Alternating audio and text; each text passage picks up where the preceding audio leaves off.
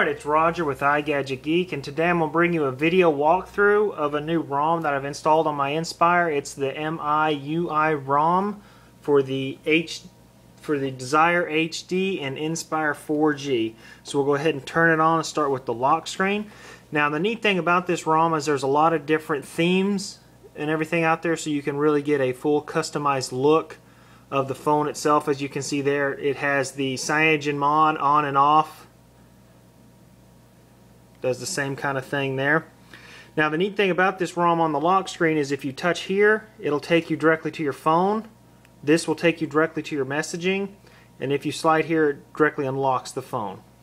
Now as you can see here, I have some different widgets. This is the stock launcher that comes with the MIUI ROM. Um, and I have of course a widget here and I will get into that a little more and I will have links to all of this software on my website. But first off, let's just start with the actual settings. Now this ROM is going to give you a look and feel a lot like an iOS type device. As you can see, here's all your settings and everything, and it does look and have that real same feel of an Apple device. But you have your personal, your system, and programs, and of course all of these you're able to go through. Now one of the nice things under programs, if you go down here to the battery, It'll give you your battery level and you can monitor like you can on most other Android systems to give you an idea what's using what. But under this battery there's also a battery indicator style. As you can see here I have top bar and if you look at the top of my phone there's a green bar. Now if you switch it to percentage it changes to a battery with a percentage in it. Now we'll go back to the battery indicator and you can have just the standard one which has nothing or you can switch to the top bar, which is the one that I prefer. And you have this green bar across the top of your screen, and as you use your power, that bar will decrease. Now I've been running this ROM for about a week now. Um, really haven't noticed any any major bugs or anything. Um, my quadrant score is really good on this ROM. It is built off of the CyanogenMod. It uses the CyanogenMod as a base, and then they take and they tweak it and really bring you a nice customized look to your interface.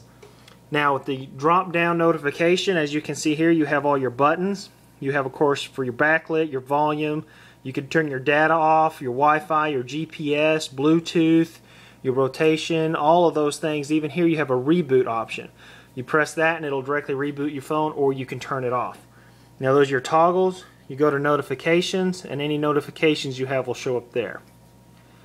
Now if you don't, if you uh, press the home button, it will zoom out and give you all of your home screens.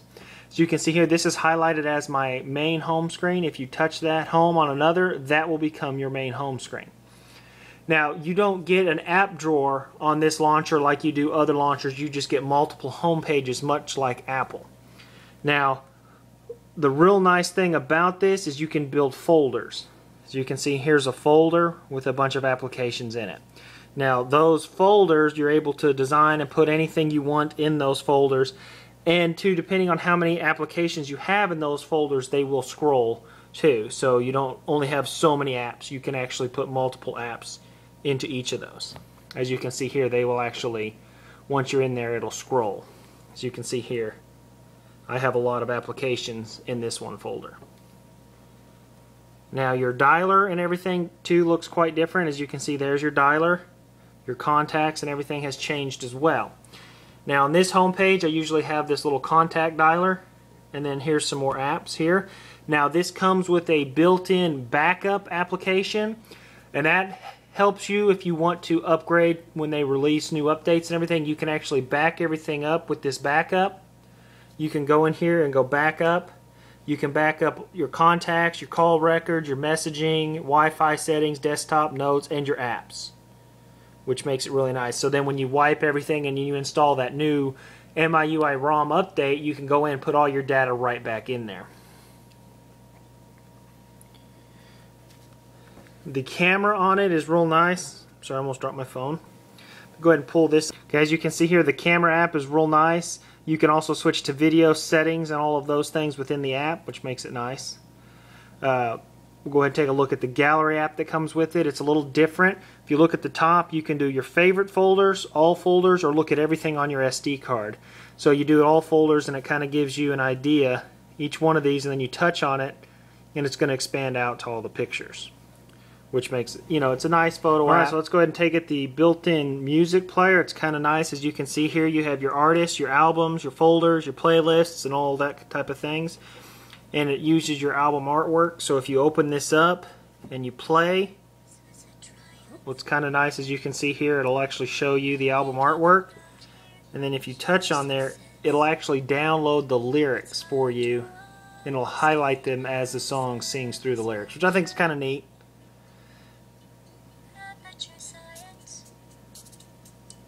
Touch on it again and you'll go back to your cover work and it has a little you know EQ down there of course, your volume up and down.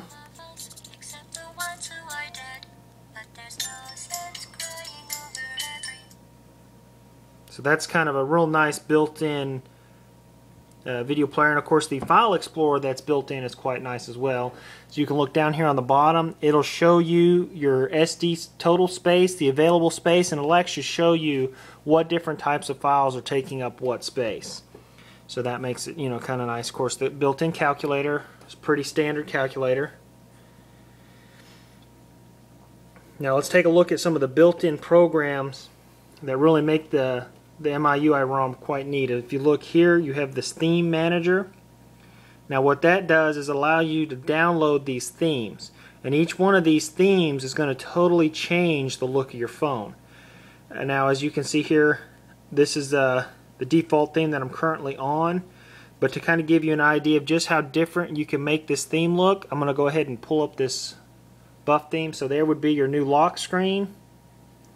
As you can see here, it totally changes your drop down, your dial pad, what your contacts look like, your settings, what your text messages look like, and all of those things. Um, you can also, as you create that theme, and you can edit each different individual aspect of that theme. If you go into edit theme, you can change just the boot animation. You can come in here, change just the lock screen to anything that you've downloaded. You can change your notification bar to anything that you've downloaded. Uh, icons, you can also change just the way your icons look depending on you know what themes you've downloaded. You can also come in here to change the font to any font that you download. And what I'm going to do on my website is I'm going to put a link up to their forms so you can download a lot of this stuff. You can change the dialer style, of course ringtone, notification, alarm, and all that, and you can back up your theme. Now it also comes with the MI UI Dev here, and what that is is it's much like the XDA Developers app. It's an app that takes you directly to the forms and on there you can download a lot of different themes and applications, different tweaks and everything just for this ROM. Um, so what we're going to do now is let's go ahead and take a look at a quadrant on it. So we'll run the quadrant to kind of give you guys an idea of uh, how this ROM does on a quadrant. So we'll go ahead and just take a second here and let it run.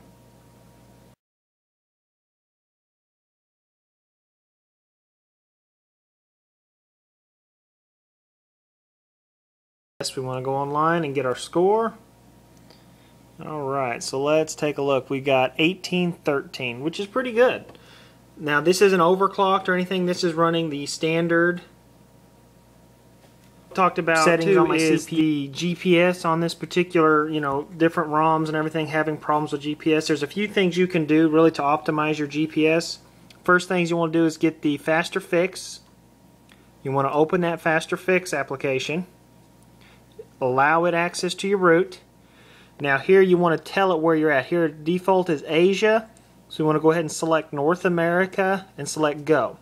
And what that does is it actually changes and it sets it to North America as you can see there. North America pool and all that.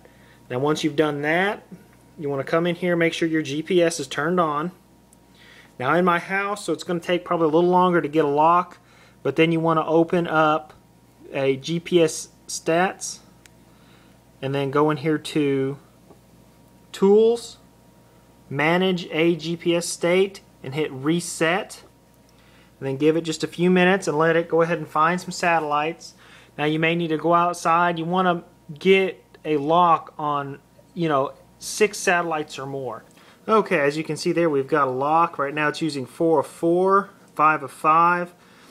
Now once you reset that state and done those few things, your GPS will lock on a lot easier. As you can see here, my Wi-Fi is not on. So then you can go over here to your maps and it should not take too long and it'll give you a lock on your location. So if you do those few little tricks there, it'll help you to uh, get your GPS working properly. I haven't had any issues with my GPS. Now um, this widget up here, if you hit menu, go to editing mode, see the little square, if you touch that it will give you a location of all your different widgets that you can put onto your home screen. And once you pick like here's a folder once you pick that folder and you put it on whatever screen you want it to be on just back arrow out of that now you have a folder there that's empty and you can put anything you want in it. Now once you want to edit that folder you touch the little pencil. You can adjust the way they're separated. Uh, and actually here too you can change the name of the folder itself if you don't want that you touch on it take it up here to the little recycling symbol and it'll delete it. Now as you can see here, the widget that I'm using for my clock, it is the fancy widget. It's fancy clock and you can, uh, I believe it's called Fancy Widgets. I believe is the name of the actual app that you can download. And of course they have multiple different uh, settings and configurations and everything you can do with it. So kind of gives you an editing mode. It shows you kind of a four-way square of where everything can go. Which makes it, you know, kind of nice. And I don't know if you'll be able to see it. There's this little tab right here. If you touch this tab, you can quickly scroll through all of your different screens. And whatever screen you're on, of course, go back to home. Now, two, you have launcher settings.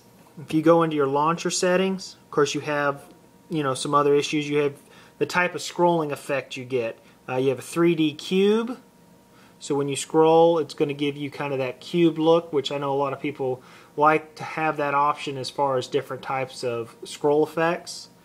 Uh, you have a 3D cube, you have rotation. So we'll just go ahead and walk through all these real quick.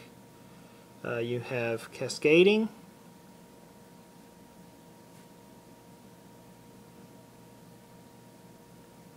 Page.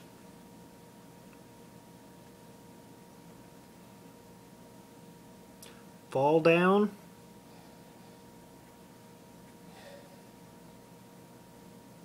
You have crossfade, which is the one I like. As you can see, they start to get transparent as you move them. And then of course you have classic, no overshot, and classic. So this has been my review of the MIUI ROM. Now on my website I'll have a bunch of links to the different locations on XDA developers where I downloaded all the stuff for this ROM.